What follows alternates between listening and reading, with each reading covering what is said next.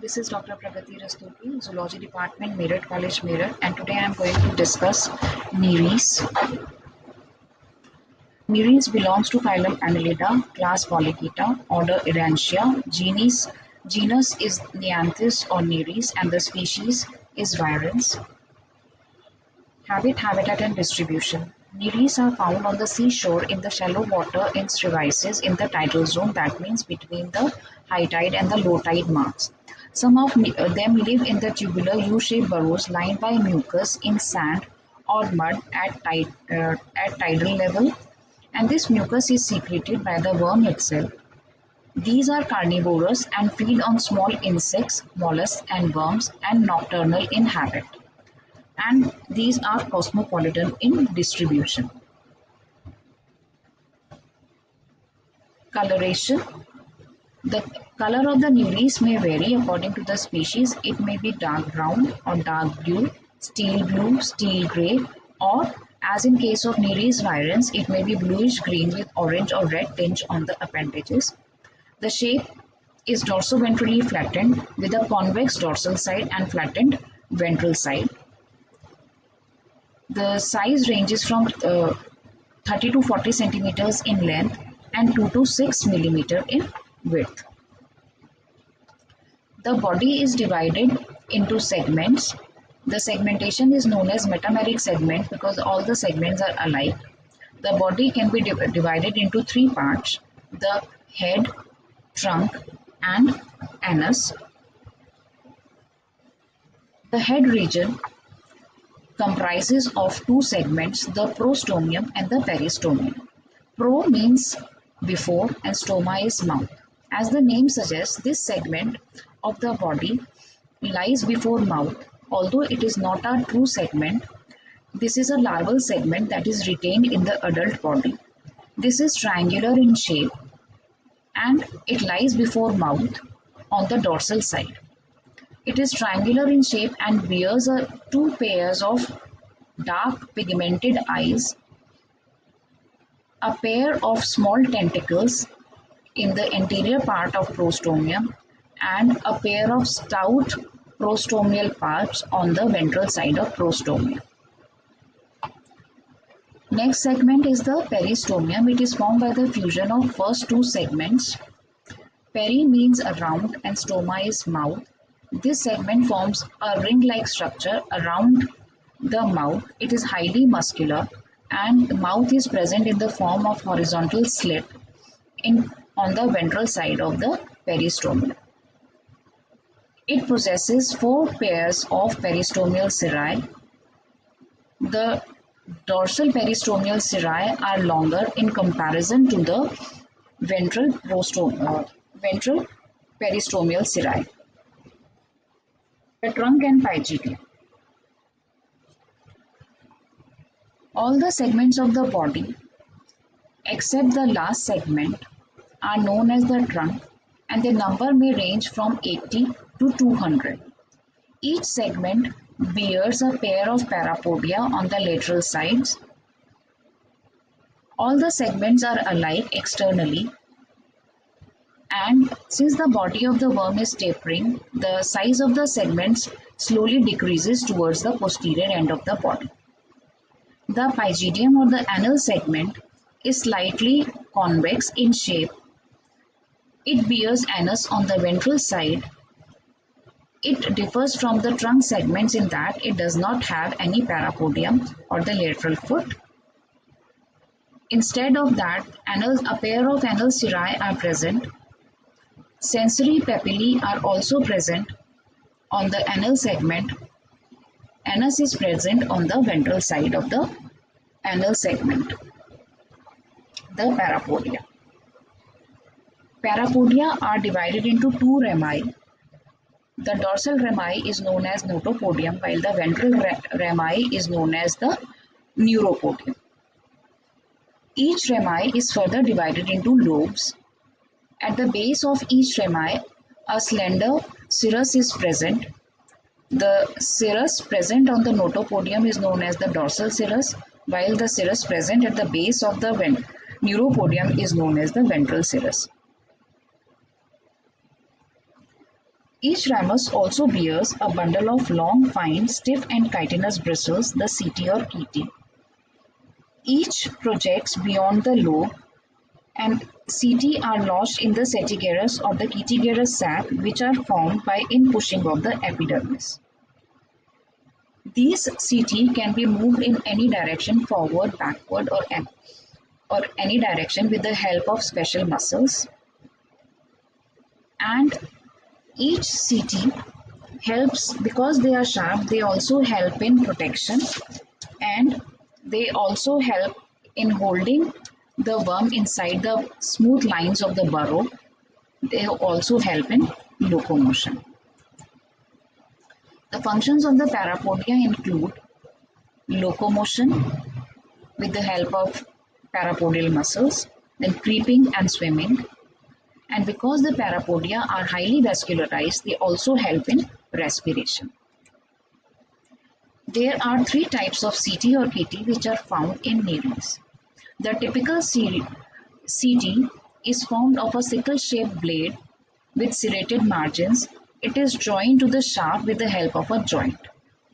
The long blade, bladed setae has a sickle-shaped long blade with serrated margin and the oar-shaped setae, these are found in the heteronereis with a blade which is shaped like the oar. A pair of nephridiopores are present on the ventral side at the base of the parapodium. The locomotion in nereis is of three types. The first is the slow creeping. In during the slow creeping locomotion, the parapodia of the animal move in ellipse and the movement comprises of two strokes. During forward or the recovery stroke, the aciculum is retracted so that the parapodium is lifted off the ground and moves forward. During backward or effective stroke, the aciculum is extended so that the parapodium is lowered and comes in contact with the substratum and then it is swept backward. The parapodia and setae they push against the substratum and act as paddles. The combined effective sweeps of the numerous parapodia propels the worms forward. The parapodia on each side, the, side of the body act in successive waves moving forward, the two parapodia of a segment do not work simultaneously but rather alternately. During the fast crawling, the body undulations are produced by waves of contractions in the longitudinal muscles of the body in coordination with the parapodial activity. As a result, the worm is able to crawl and swim rapidly. During swimming, particularly in the heteronereis phase, the swimming takes place with the help of vigorous lateral undulating body movements and paddle-like parapodial movements with the help of the oar-like setae.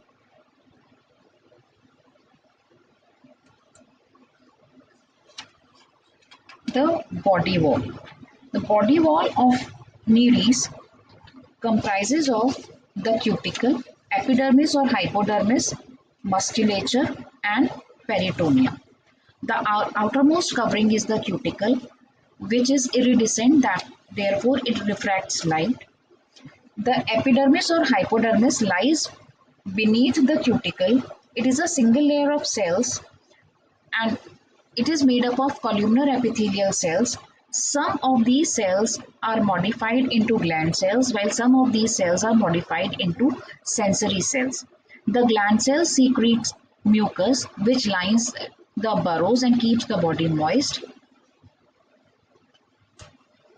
The epidermis is thin except on the ventral side where it becomes considerably thickened because of larger and more numerous glands particularly near the base and on the lobes of the parapodia. The epidermis is richly vascularized and also helps in respiration. The musculature of Nereis comprises of three types of muscles, the circular muscles, the longitudinal muscles and The oblique muscles. The circular muscles are present below, below the epidermis and run in a thin continuous layer. The dorsal layer of circular muscles is thin as compared to the ventral layer of circular muscles. When the circular muscles contract, they make the body long and thin. Internal to the circular muscles, longitudinal muscles are, are present, but they are not present in the continuous sheet. Rather, they are present in the form of bundles. A pair of uh, bundles of longitudinal muscles is present on the dorsal side in the form of dorsolateral longitudinal muscles and a pair of uh, bundles of longitudinal muscles are present on the ventral side known as the ventrolateral longitudinal muscles. When these muscles contract, they make the body stout and short. In each segment, two pairs of oblique muscles arrive from the mid-ventral body wall at the side of the ventral nerve cord. They run dorsolaterally to reach the base of the parapodia, which they serve to move. Each oblique muscle is divided into two parts. One runs to the dorsal and the other to the ventral part of the parapodial base. Besides these oblique muscles, each parapodium also has a complicated system of parapodial muscles which control the movement of various lobes and setae. All the muscles in nereis are made up of smooth and unstriated fibers as in earthworms. The next layer below the muscles is the peritoneum. The innermost, it is the innermost layer of the body wall. The parietal layer of peritoneum or the coelomic epithelium, it covers the muscles internally and forms the lining of the body cavity. This is the parietal layer of muscles. The functions of the body wall. The cuticle of the body wall protects against desiccation and mechanical injuries. Because epidermis is highly vascularized, therefore it helps in respiration. The epidermal glands secrete mucus and help in lubricating the worm and the burrows. The sensory cells help in perceiving the stimuli while the muscles help in movement and the peritoneal lining secretes coelomic fluid. The coelom. The perivisceral cavity having outer outer parietal peritoneum and inner visceral peritoneum enclose visceral peritoneum which encloses the alimentary canal and between these two layers of epithelial cells or the epithelial lining, coelom is present. The coelom is schizocoelic in nature, which is formed by splitting of the mesoderm into two layers. It is divided into linear compartments by the intersegmental septa, which divide the segments horizontally. The septa have apertures, therefore the coelomic compartments of the body communicate with each other and they are uh, continuous. Coelomic flu uh, fluid is filled in the coelom and this fluid contains amoeboid corpuscles like the white blood cells of the these are also known as coelomocytes. During breeding season, reproductive cells are also found in various stages of development. The coelom communicates with the outside with the help of nephridia and coelom ducts. Functions of the coelomic fluid include it, the coelomic fluid provides turgidity to the body. It maintains the shape of the body. It also helps in protection of the body it, as it forms the hydraulic skeleton and it protects the body from external shocks. The coelomic fluid also helps in distribution of the nutritive materials and respiratory gases. It also helps in removal of excretory waste and the amoeboid cells also help in the defense mechanism of the body if some bacteria or other pathogen invades the body. Now the digestive system. The digestive system of Nereis is like the, the tube within a tube plant and the digestive system consists of the alimentary canal and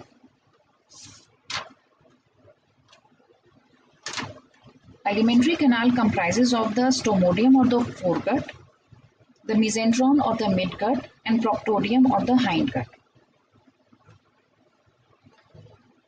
The stomodeum or the foregut is internally lined by ectoderm and cuticle and comprises of buccal cavity and pharynx. But before buccal cavity, mouth is present on the ventral side of the peristomial segment in the form of a horizontal slit.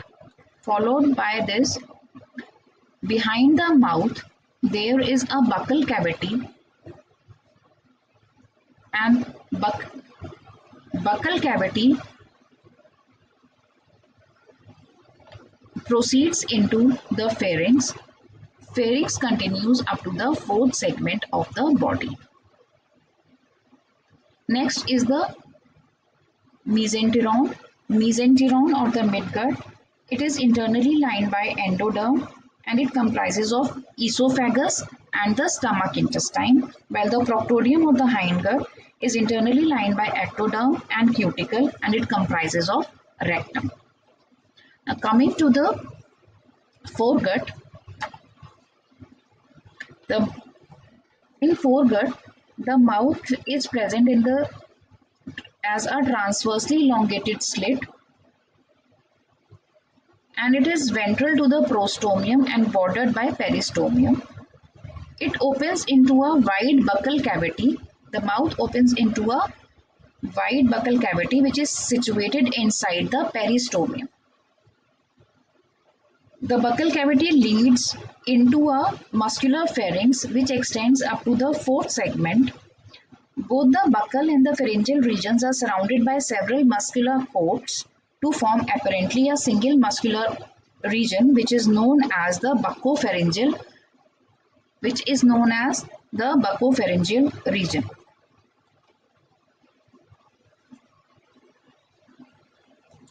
The cuticular lining of the buccopharyngeal regions is thickened at several places to form the cuticular teeth or paragnaths which help in masticating the food.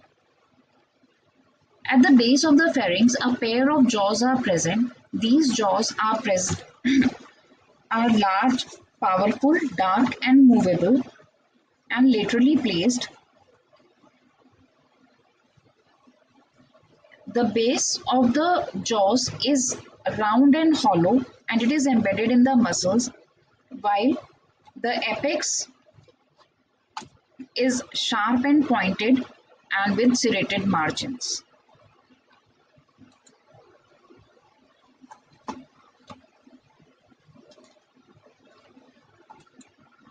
Mesenteron or midgut.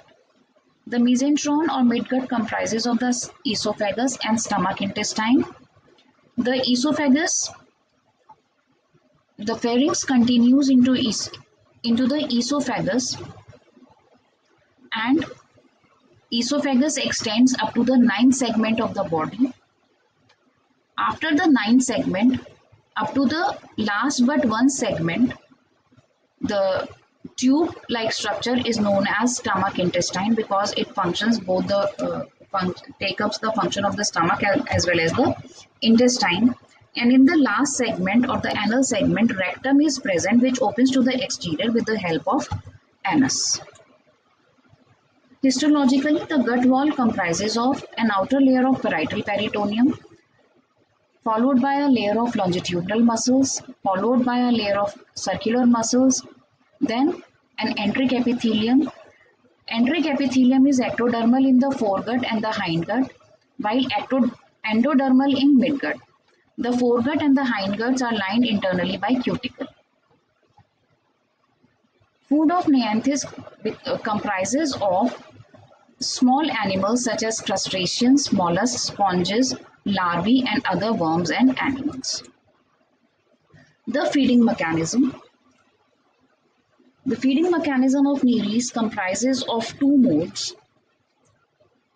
While it is in burrow, it feeds by filter feeding.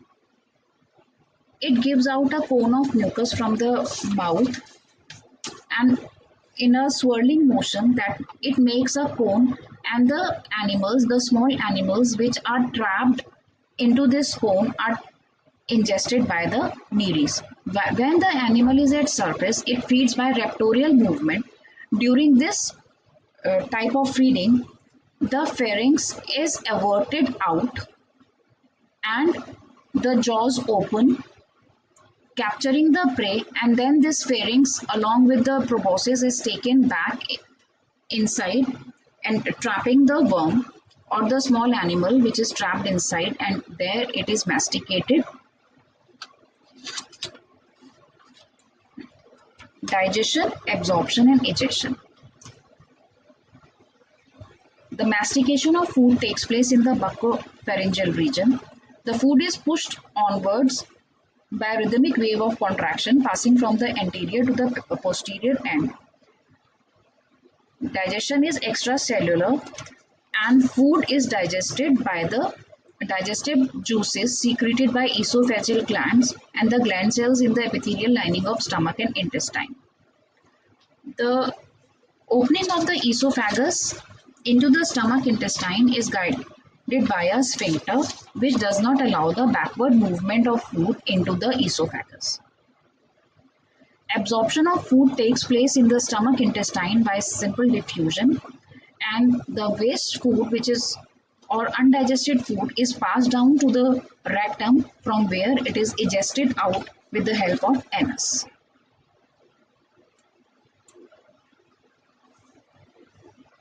There are no special organs for respiration in nereis and because the epidermis of the worm and the parapodia are highly vascularized, the respiration takes place by diffusion of respiratory gases from these surfaces, from the surface of the parapodia and from the epidermis. The water is constantly renewed by gentle undulating movements of body which cause a current to flow through the burrow.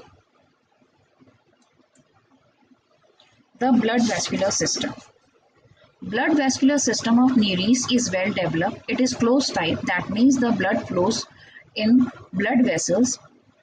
The blood vessels are filled with blood of bright red color and this red color of blood is due to the presence of a pigment erythrocruorin which is similar to hemoglobin. Blood vessels are mainly of two types, the distributing vessels and the collecting vessels. Capillaries are also present and circulation of blood takes place with the help of peristaltic movement of blood vessels. On the basis of the functional activity, the blood vessels are of two types, the distributing vessels and the collecting vessels. The distributing vessels dis distribute blood to different parts of the body, whereas the collecting vessels collect the blood from different parts of the body. Distributing vessels communicate with the collecting vessels by means of fine network of microscopic capillaries. The vessels have muscular walls and the constant circulation of blood is maintained by peristaltic waves passing over the walls of the large blood vessels. In Nereis, there are two main longitudinal vessels, the median dorsal vessel and the median uh, ventral vessel, which are ventral to the gut. The dorsal blood vessel. Dorsal blood vessel is a connecting vessel. This is a contractile vessel. It lies dorsal to the gut. It runs from the posterior to the anterior end in the anterior part of the body, it bifurcates and forms a network or plexus around the esophagus. It joins the ventral vessel in the fifth segment. The dorsal blood vessel receives blood from stomach intestine through two pairs of dorso-intestinal or efferent intestinal blood vessels. It collects blood from body wall, parapodia and nephridia with the help of the lateral vessels. The esoph in the esophageal region, the dorsal blood vessel becomes the distributing vessel. The ventral blood vessel. The ventral blood vessel is chiefly a distributing vessel but it is non-contractile. It lies in the mid-ventral re region below the alimentary canal from the fifth, fifth segment up to the last. In the ventral blood vessel, blood flows from the anterior towards the posterior end. It supplies the blood to the stomach intestine through ventrointestinal or afferent intestinal vessels. It also supplies blood to body wall, parapodia and nephridia with the help of lateral vessels and posteriorly it joins the dorsal vessel by circumrectal ring in the anal segment. The lateral vessels, these are loop-like thin vessels which are present in the lateral sides of the body. They connect the dorsal and the ventral vessels in each segment except the first five parapodial segments. These are known as laterals or commissural vessels in each segment, there is a pair of circumintestinal vessel or the ventrointestinal vessel taking blood from ventral vessel to the dorsal vessel. We can understand the flow of blood from ventral vessel to the dorsal vessel with the help of this diagram. The blood flows from the ventral vessel to the lateral vessel. Here, with the help of the afferent blood vessels like the afferent cutaneous vessel, the blood is supplied to the body wall. The afferent parapodial vessel, blood is supplied to the parapodium. And the afferent nephridial vessel, the blood is supplied to the nephridia. From here, the blood flows into the efferent vessel and in between the afferent and the efferent vessels, a network of capillaries is present. The efferent cutaneous blood vessel takes blood to the lateral wall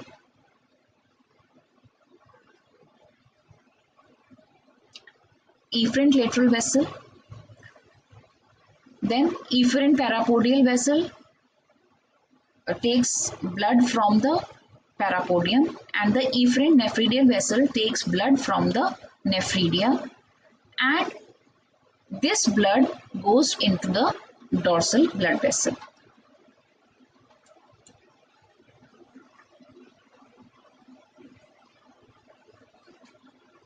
The subneural vessel. A thin subneural vessel runs below the nerve cord. In the subneural vessel, the blood flows from the anterior to the posterior end. It collects blood from the lower body wall and supplies blood to the ventral blood vessel. The excretory system. The excretory system comprises of nephridia. Nephridia are present one pair in each segment except the first and the last segment. The nitrogenous waste is ammonia. As we can see that the nephridium is in, formed by a syncytial mass of protoplasm having several scattered nuclei but separated by cell membranes. But not separated by cell membranes, it is differentiated into a body and a neck. The main body is an irregular oval or compact gland-like mass directed transversely in the segment. It is formed of granular syncytial protoplasm. It contains a long, narrow, highly convoluted and mostly ciliated nephridial tubule embedded in it.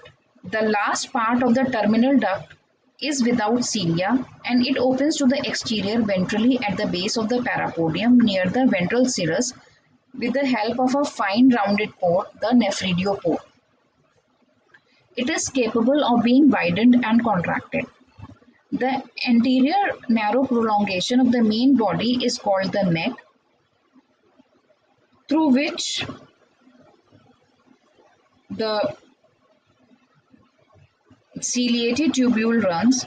This neck pierces the septum of the segment anterior to the one in which the body of the nephridium lies and from there with the help of the funnel it opens there with the help of a neph nephrostome the lip or edge of the nephrostome is produced into a number of long narrow and delicate processes covered with cilia.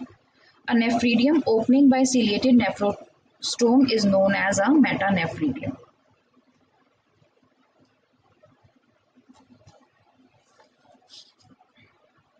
Excretion is carried out in two ways. The outer surface of the nephridium is densely covered by blood capillaries. The gland cells forming the wall of the ciliated tubule remove waste materials from blood and propel it through the excretory tubule by ciliary action and finally discharge through nephridiopores. In polychaetes, the nitrogenous waste is ammonia. The waste laden coelomocytes or amoeboid corpuscles are removed from the coelomic fluid by ciliated nephrostome. The cilia of the nephridial tubule cause the liquid to pass, liquid waste to pass out of the nephridiopores. The nephridium also possesses power of osmoregulation and they maintain a salt balance in their body. Most of the time, the fluid, uh, fluid inside the body of Nereis is isotonic with the sea water up to a certain limit within a range. Below a certain limit, the Nereis maintains a salt range inside its body with the help of active intake of salts. The nervous system. The nervous system of Nereis is highly developed and bilateral in metameric. It comprises of three parts, the central nervous system which consists of bilobes, bilobed cerebral ganglia, the circumpharyngeal connectives, and the ventral nerve cord. While the peripheral nervous system comprises of the nerves which come out directly from the brain and nerve cord to supply different regions of the body and the visceral nervous system. The central nervous system. The supraesophageal of the cerebral ganglion or the brain, it is a large bilobe mass which is located dorsally to the pharynx in the prostomium it consists of nerve cells and nerve fibers. All the impulses coming to the brain are coordinated by two small lobes called corpora pedunculata of the mid, in the middle region of the brain. The brain is connected with the help of subpharyngeal ganglion with a subpharyngeal ganglion which lies ventral to the pharynx in the third segment by a pair of stout nerves called the circumpharyngeal connectives. They run on either side of the pharynx to form a nerve collar or ring around the pharynx. The connective bear small ganglia near their point of junction with the brain.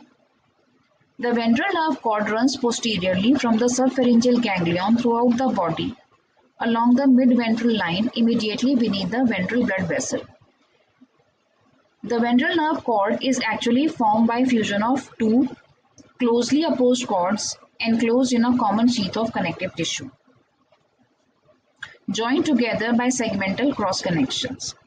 In each segment, the cord is dilated into a uh, swelling or segmental ganglion, which actually represents two ganglia very closely fused together. The first segmental ganglion lies in the fourth segment of the body.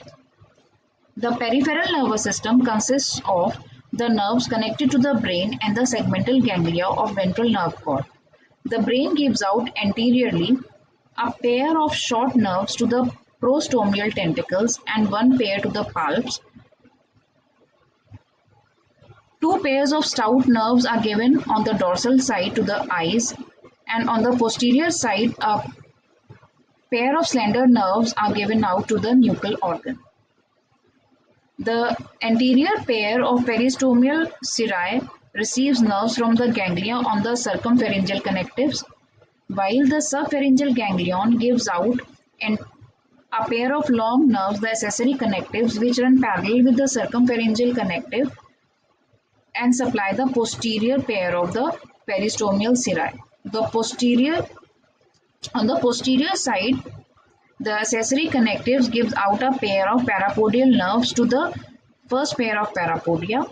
Each segmental ganglion of the ventral nerve cord gives out three pairs of nerves, one pair to the segment which is anterior to it, the second pair to the parapodia of the same segment and the third pair to the septal muscles and other organs. The visceral nerves. Visceral nerves consist of fine nerves and occasional ganglia supplying the pharynx. They are connect. It is uh, connected on one hand to the hind part of the brain and on the other to the circumpharyngeal connectives near the visceral ends. From the dorsal ganglion, two pair of nerves go to the dorsal peristomial cirri, and from the ventral ganglion, nerves go to the front part of the alimentary canal. The sense organs. Sense organs are of three types, the tactile sense organs, the chemoreceptors and the eyes. The tactile sense organs include the prostomial tentacles, the prostomial palps and the peristomial cirri. All of these are touch receptors. The prostomial palps are uh, divided into two parts, a large fleshy part and the anterior small part which can be retracted into the large fleshy part and these are considered to be uh, taste receptors and as they test the food which enters the mouth of the nereis. A pair of nuchal organs or pits are present on the prostomium. These are lined with ciliated columnar epithelial cells and also some gland cells. These are thought uh, to have a sense of taste and smell, but they these organs are of doubtful nature. The photoreceptors or the eyes.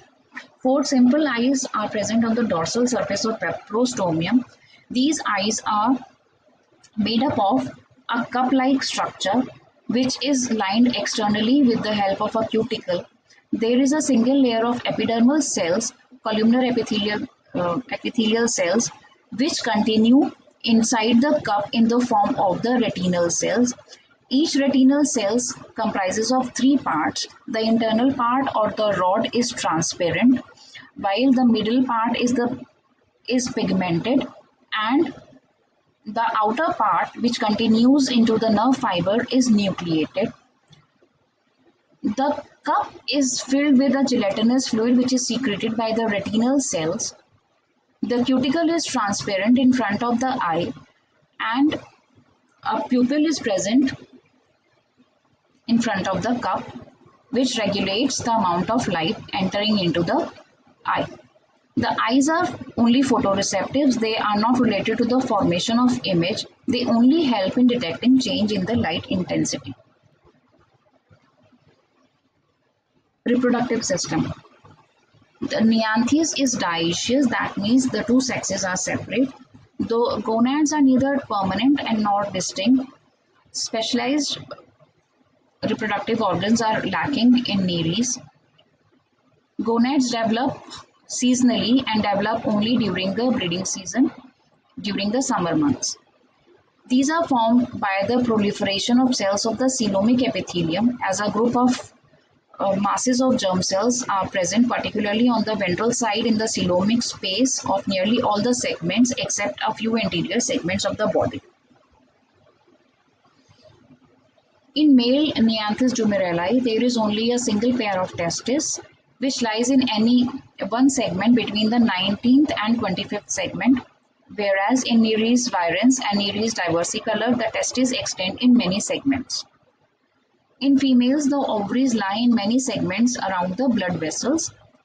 There are no gonoducts in the gonads. The germ cells, uh, cells from the masses in males separate in the coelomic fluid as sperm mother cells and they keep on floating in the coelomic fluid and divide rapidly and undergo maturation divisions to form spermatids which transform into sperm. Mature sperms, they have a rod-shaped head and a long vibrating tail. In the similar fashion, the ova are formed in the female. An ovum contains yolk granules. It is round in shape and surrounded by a vitelline membrane. Gonoducts are absent in Neanthes or Nereis. Therefore, gametes are discharged out either by the rupture of the body wall or by the nephridia.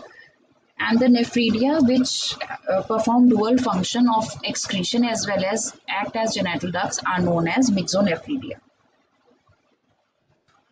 The dorsal ciliated organs, uh, a pair of dorsal ciliated organs are found in each segment situated close to the dorsal longitudinal muscles.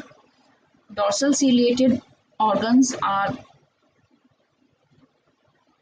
a small ciliated tract of coelomic epithelium and it is folded in the form of a funnel shaped structure. It opens into the coelom by a wide opening but they have no external opening. The true nature of dorsal ciliated organs is unknown. However, it is believed by some of the workers that they become the temporary gonoduct in some species of Nereis.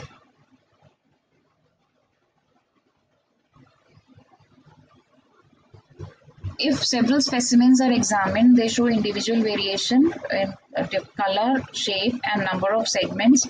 The appearance of orange or reddish color is the greatest in females during the breeding seasons. Also, the size of the females is larger as compared to the males of the same age.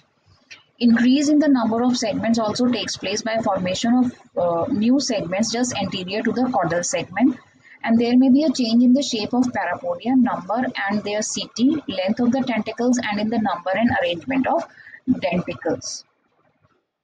A special phenomena known as epitoky is also found in some species of Nereis. Epitoky is a reproductive phenomena which is a characteristic feature of Nereis. It is the formation of sexual individuals or which are known as epitokes which are different from their parent or the non-sexual individuals which are known as atoke. The changes are induced by hormones which are secreted by the plexus of blood vessels lying below the brain. Because of such changes, the posterior modified segment of the body represents sexual region or epitoke and anterior segment without the mm, any change is known as the non-sexual region or atoke. Characteristics of the heteronereis include the heteronereis, they leave the burrows and come up at the surface of water and lead an active free swimming life in comparison to the uh, which lives in burrows. The eyes of heteronereis are much more prominent and they are greatly enlarged and highly sensitive to light. The peristomial cirri become longer. Parapodia of epitoke region become enlarged. They develop additional foliaceous outgrowth. Setae become oar-shaped and highly vascularized. The intestine in the epitoke region become compressed due to the development of gonads and finally it becomes functional, functionless. The anal segment of the pygidium develops sensory papillae. There we can see the comparison in the parapodium of heteronereis. We can easily see that the, mm, parapodium of heteronereis has developed foliaceous outgrowths. The setae, uh, the dorsal cirrus enlarges to a considerable extent the ventral cirrus has also enlarged. These are the foliaceous outgrowths and the setae they have become oar-shaped and there is also rearrangement of the muscles of the aciculum.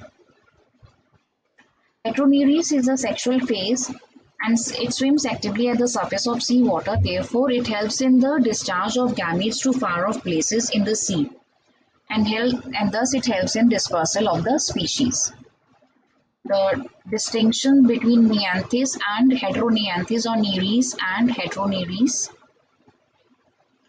The Nereis lives in burrow, under stones, etc. and creeps at the bottom of the sea, whereas Heteronereis swims actively at the surface of sea. The eyes of Nereis are small and indistinct, whereas eyes of Heteronereis are prominent. These are enlarged and highly sensitive to light the body of Nereis is not differentiated into atoke and epitoke region, whereas the body of Heteronereis is differentiated into anterior non-sexual atoke region and the posterior sexual epitoke region. The sensory papillae on the anal segment of Neanthes are distinct, whereas the sensory papillae on the anal segment of Heteronereis are prominent. Nereis is sexually immature, Heteronereis is sexually mature. Nereis in Nereis, the intestine is tubular and functional, whereas in Heteronereis, the intestine of the epitoke region is compressed and becomes non-functional. In Nereis, all the parapodia are alike, whereas in Heteronereis, the parapodia of atoke and epitoke region are different. The setae on the parapodia of Nereis are normal and pointed at the tips, whereas the setae in the epitoke region of heteronereis are oar-shaped and arranged in a fan-like manner to help in effective swimming. The notopodia and neuropodia are normal bilobed in nereis, whereas notopodia and neuropodia are flattened with more lobes in Heteronereis. In Nereis, the dorsal and the ventral cirrus are short, whereas in Heteronereis, the dorsal and the ventral cirrus are enlarged. The fully uh, sexual mature clamworms leave their burrows in groups and they come at the surface of seawater at night to fringe freely. This freely it is called swarming. This phenomena probably occurs to facilitate fertilization. Swarming occurs at night during a particular lunar phase. The fertilization is external and takes place in open sea water. During swarming, the female Heteronereis produces a substance called fertilizin, which attracts the male Heteronereis towards the female. This also stimulates uh, the male to shed the sperms and the shedding of sperms by the male in turn stimulates the female for shedding of ova or the eggs. After shedding of gametes, the parent worms die. the development. The fertilized egg of Nereis consists yolk granules which are present, uh, more yolk granules are present towards the lower pole which is known as the vegetal pole. The cleavage in Nereis is spiral.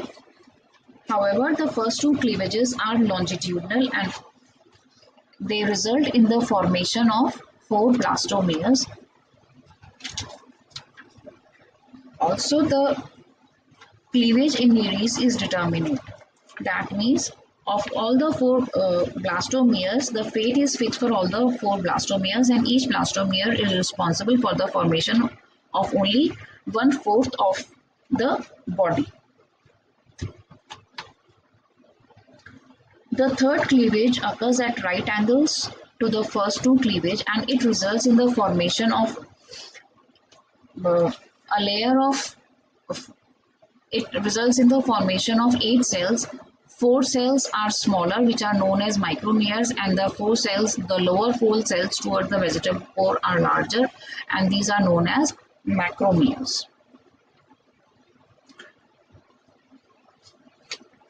All the succeeding cleavages are unequal and of spiral type. So then the cells of one quarter are not placed directly over or above the cells of the adjacent quarter but somewhat displaced to the left or right. The micromeres give rise to the ectoderm and the macromeres give rise to the endoderm while one of the macromere which is called as the uh, somatoblast produces the mesoderm of the larva and the adult. Gastrulation occurs by epiboly. The blastopore forms the mouth and the stomodeum. The anus forms at the new site below the closed blastopore.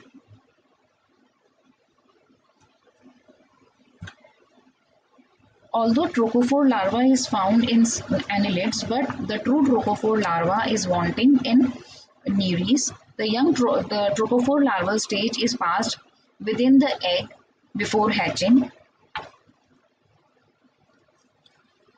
The Post-trochophore or the nectochaete larva with three setigerous segments hatches out and it is then converted into the older larva.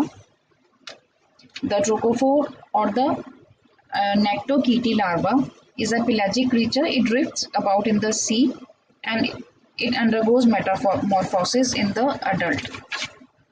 Its preoral part becomes the prostomium of the adult the postoral region elongates and becomes constricted into segments which soon develop the parapodia with long provisional or larval setae. The first segment becomes the peristomium and the last the pygidium. Internally, the mesodermal band divides into three pairs of somites, each developing a cavity which is known as the coelom, which, la which later obliterates or replaces the blastocoel. The ciliary band disappears and the larva grows in size and length with the addition of new segments just in front of the caudal segment. After metamorphosis, the young worm sinks to the bottom uh, to become a burrowing adult. So this is the, the slightly bigger larva and thank you.